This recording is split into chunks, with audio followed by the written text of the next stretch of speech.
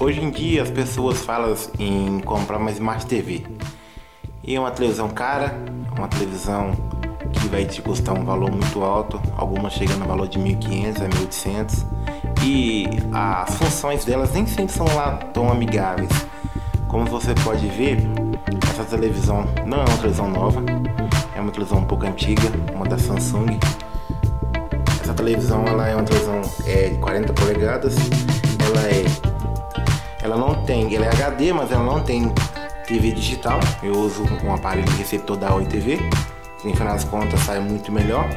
E o que acontece? Você pode estar tá vendo que você não está vendo nenhum computador aqui ligado nela, mas você está vendo que ela está na Netflix, como qualquer Smart TV.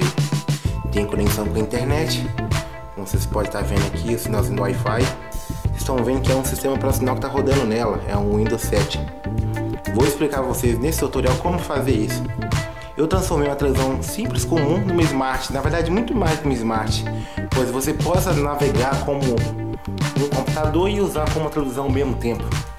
É muito mais barato, saiu muito mais em conta para mim e é muito melhor. Tem uma duração maior, uma interface gráfica muito melhor, tem uma plataforma que você possa estar interagindo com redes sociais como um computador, então você pode estar fazendo esses filmes, Netflix, pois digitar, não sei se você já pegou alguém está pensando em comprar uma Smart TV, se você for ver como que é digitar numa televisão com controle remoto é terrível. Eu estou atualmente usando o mouse e estou usando o teclado virtual do Windows, mas eu já acoplei a um, um teclado, entendeu? Vou estar mostrando a vocês como como que foi a minha montagem delas passo a passo, entendeu? Vai ser em vídeo. E vocês vão gostar muito. E se vocês quiserem fazer um para vocês, às vezes vocês querem, às vezes não querem, às vezes vocês têm a ideia de fazer algo melhor. Essa televisão não possui nada aparentemente, tem uns cabos aqui fora, mas são cabos de, do carregador, do aparelho da TV, mas ela fica totalmente embutida dentro da televisão. Vou mostrar para vocês no, no próximo, nesses vídeos no canal como é que foi feito. Vamos lá pessoal, segunda parte. Essa é a televisão aberta, estou te mostrando a placa principal dela. Essa é a placa mãe, no caso. A parte que é expansão pela parte. Vamos lá pessoal, segunda parte. Essa é a televisão aberta, estou te mostrando a placa principal dela. Essa é a placa mãe, no caso. A parte que é expansão pela parte de vídeo. Uma televisão é composta basicamente de três placas. Essa é a placa de fonte, que alimenta energia. A segunda placa, a placa mãe. A terceira, que está aqui em cima, chamada de T-Com. A função dela é receber a imagem que vem da placa principal e transformar, é, dividir por os LCD que é responsável por alimentar as lâmpadas. Ela possui duas lâmpadas provavelmente aqui e duas lâmpadas aqui que é as mesmas lâmpadas que é usado em casa, só que é um tubo mais fino, da grossura de uma caneta, ou mais fino ainda. Então vamos lá, placa de fonte, placa mãe, T-Com e a placa das lâmpadas. A diferença da tecnologia de LCD para LED é basicamente essa, que no LCD como você não possui no, no LCD, como você possui essa placa para alimentar as lâmpadas, esse aqui na verdade é um reator. Isso tudo isso aqui é um reator. Esse aqui é um grande reator. Então para as lâmpadas.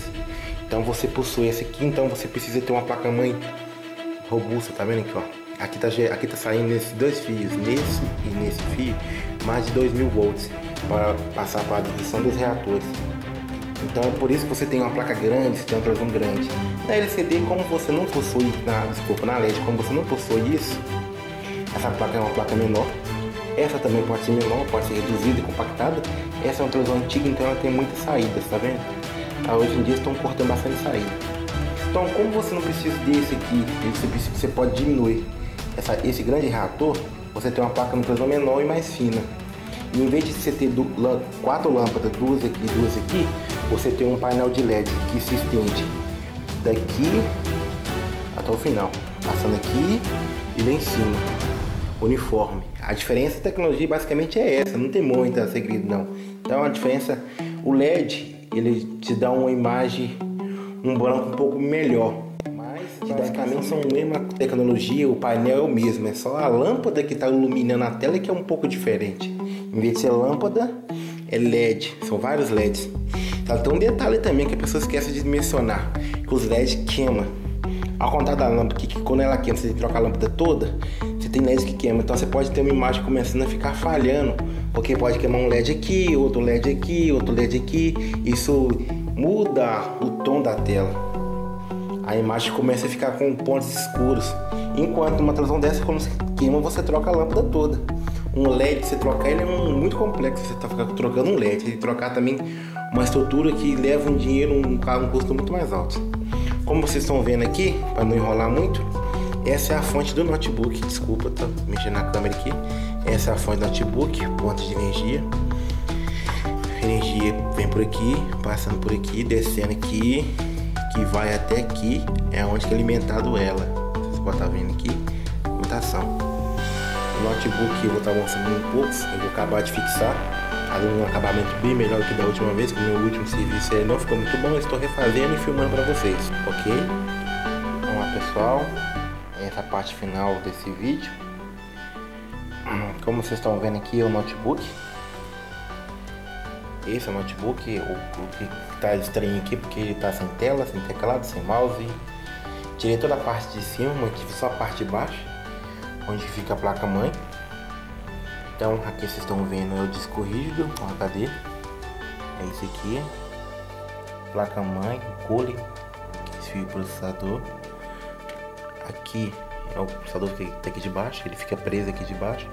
Esse cabo aqui é um cabo HDMI que leva informação para a televisão. Então vou mostrar vocês como é que é. Ele passa aqui, tá vendo? Entra aqui. Essa essa, essa televisão é bom que ela tem essa divisória. Então ele passa tudo aqui dentro. Você dá um zoom aqui, só um minutinho. Então, como vocês estão vendo aqui, ó. Está passando aí de baixo, vindo até aqui, se eu ligar a luz, vai ficar um pouco melhor. Aí ele vem aqui sai aqui.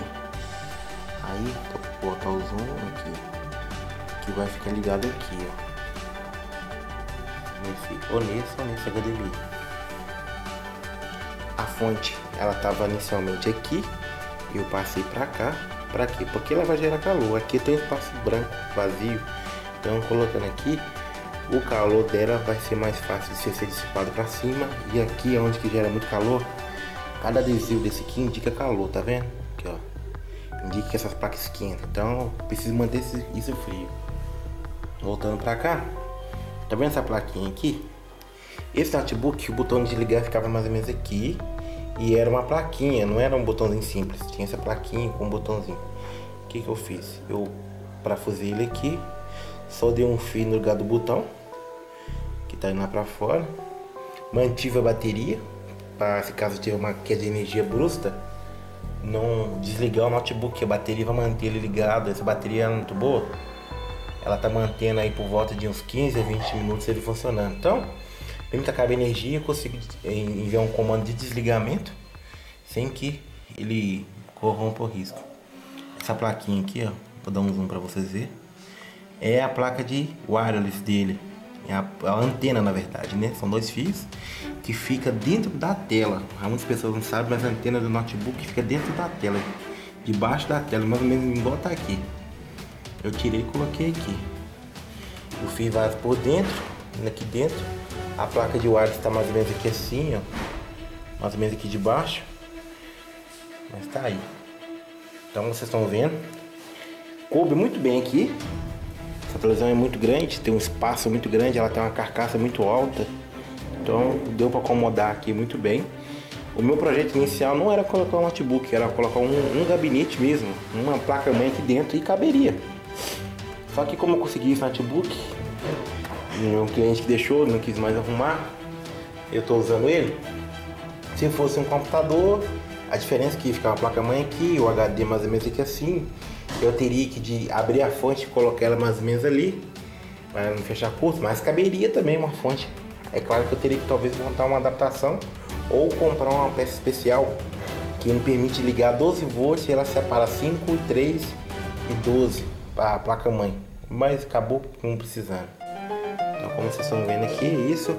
Essa fonte aqui de baixo, uma fonte que eu também travei, usei fita dessa vez. Não usei da primeira vez que eu fiz o vídeo, eu usei uns, uns trem ficou feio pra caramba adaptação, não sai daqui. Uma fonte 12 volts por 2 amperes que vai alimentar os coolers com folga, ou com folga na verdade. Então vou ter um ganho de energia, vou ter um pequeno aumento no consumo de energia, mas é tranquilo. A energia, elas estão todas ligadas nesse conector aqui por baixo soldado. Então não tem perigo, mesmo que feche algum desse feche curto, não tem perigo de queimar a, a, fonte da televisão. E a televisão é protegida por dois fusíveis, tá vendo? Um em cada lado, não é somente um fusível. Então o risco de queima aqui é muito pequeno. Aqui é a conexão, travamento dos cabos, todos os cabos passam aqui, nenhum cabo interferindo. Esses cabos aqui são de alta tensão, então eu tive que deixar um pouquinho para baixo para não ter interferência. Mas tá tudo ok. Agora, vou botar um zoom, pra vocês entenderem. Gabinete, placa, aqui é a parte da televisão, aqui é a parte que interessa, que é o computador. Vou colocar um adaptador aqui, tem um, sai um fio que liga lá de fora, que me deixa ter uma USB por lá de fora do, da, da televisão. Mostrar pra vocês aí como vocês estão vendo. Tá um pouquinho feio, mas eu vou melhorar isso depois. Saída de som, saída de som, microfone, uma USB. Aí eu usando um Ruby, permite ter 4 USB. Eu não preciso ter 10 USB aqui fora, não é o suficiente. Com o Ruby vem 4. Vocês estão vendo. Tive que fazer um buraquinho aqui, mas isso é pouca coisa vai me atrapalhar ficar debaixo da televisão. Vou ter uma televisão com funções especiais que vai sair muito mais barato que comprar um quarto TV. Não preciso pegar pendrives, HD externo. Posso fazer muitas, muitas tarefas aqui. E pessoal, esse aqui é o resultado final. Tá vendo? Não tem mais nada aqui atrás. desligar o notebook. Embaixo,